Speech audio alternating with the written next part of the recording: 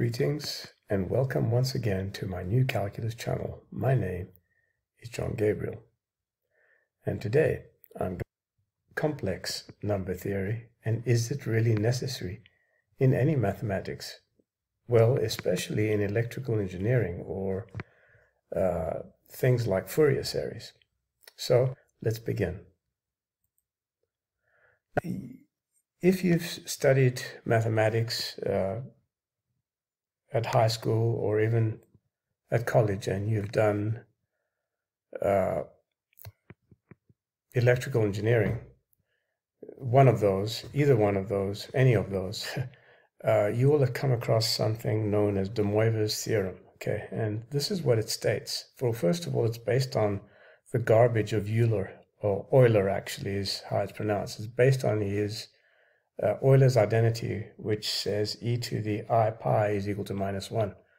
Um, if ever there was a most laughable equation, that's, that's probably it. Because, first of all, i is not a number of any kind. And we'll see now why this has been so misunderstood and also why it's not actually needed in mathematics. So let's begin. now, I had, uh, I used to uh, compile full, full A-level math exam solutions. And this, the following is a solution to an exam that was given in 2011. I don't remember whether it was April or some other time in, in 2011. But it said use De Moivre's theorem to show that this expression is true, this equation is true, and then find all the roots of this equation in this form, sine q pi, where q is a supposedly a positive rational number. So um, the way the student is supposed to solve this is by using the garbage known as De Moivre's theorem. So I'm going to give you a link to this so that you can go over my solution and you can see how it's done using uh, the so-called theorem. But I'm going to show you now that it's uh, Moivre's theorem is more of a fraud than anything else. It's it's really not a, a valid theorem, and it relies it relies the bogus fact that i squared is equal to minus one. Okay, so it relies on this garbage. Now we'll see, we'll see in a moment um, how we can do it without this nonsense because this isn't needed at all. So um, let's do this now and come back to my applet.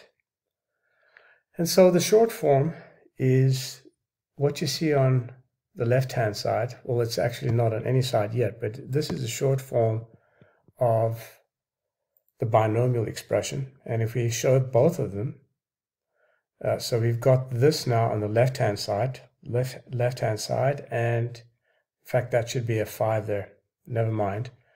Um, so, and on the right-hand side we've got this, and now notice, if you just expand this binomial, it will give you all these terms having a sign that is positive, right? And so De Moivre noticed that if one flipped the, the signs in these positions, so in position 3, 4, um, 6, 7, etc., then this side would actually equal to what you see on the left here, right? So all the terms of this expansion, cos x plus sine x, are positive, with the exceptions being those indexed by 4n and 4n minus 1. And of course, the ones, uh, the ones that are positive are indexed by 4n minus 2 and 4n minus 3. But these are the general terms of the series that you see in front of you, or are the terms of the series that you see in front of you with this general term, okay, in each case. So what's happening here? So the operation of squaring a radical exponent has no effect on the radicand. So if you see a radical like this, object here is the radicand. Okay.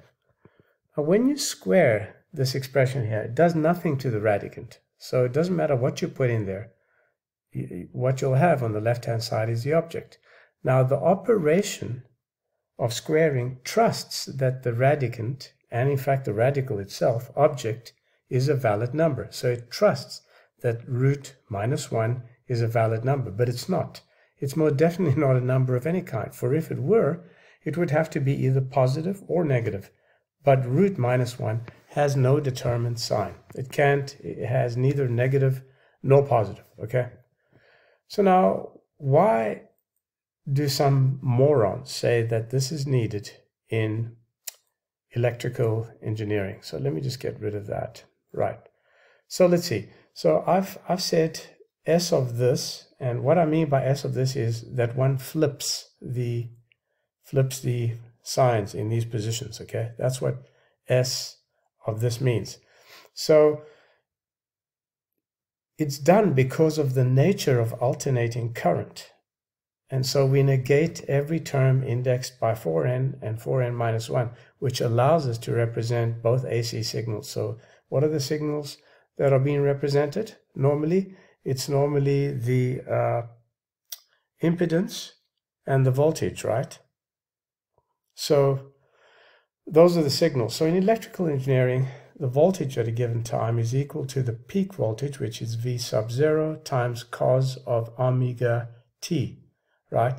And so W or omega is the phase angle and t the time. And so if we take the real part of this expression here, uh, because, because we know that e to the i omega tn is supposed to equal to this, right? And so if we just take the real part, we'll have the sum of the co of the uh, binomial coefficients that we we're interested in. So we're representing uh, omega. We're representing the peak voltage and the impedance.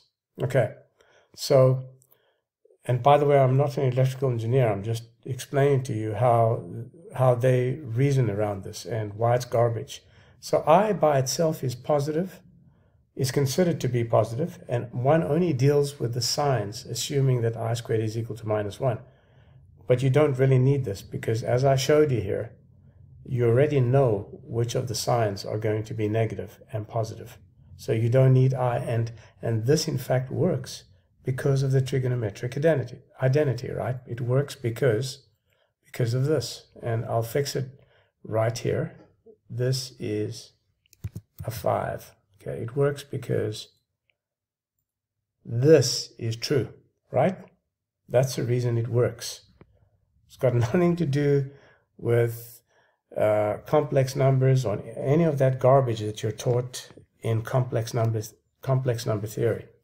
So um, next time you hear some idiot say, "What would you do? What would electrical engineers do without complex numbers?" Well, they'd manage just fine, and so would anyone else in mathematics who was using things like Fourier series, etc.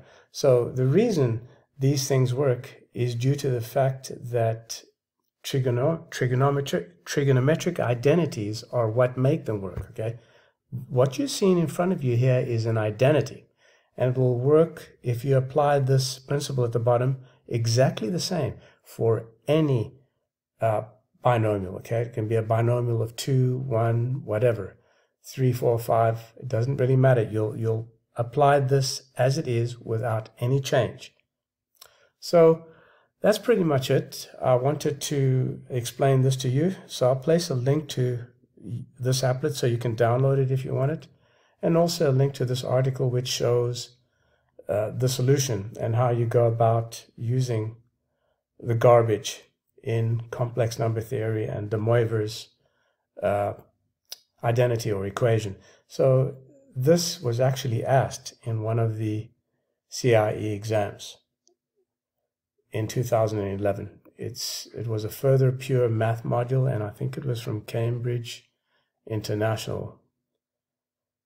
So uh, I've compiled many solutions to all the papers um, since that time. In fact, from the, the years 2010 through to the years 2013, I compiled all the solutions, full model solutions. And I also explain what the markers look for in the students' uh, responses. So I'll place a link to this also. If you want to download it, you can. And that's pretty much it. My name is John Gabriel. If you're not already a subscriber, make sure you subscribe and tell your friends about this and spread the news. And also, I'll place a link to my Odysee channel where you can donate dollars or credits. Till next time, this is a new calculus channel. Goodbye.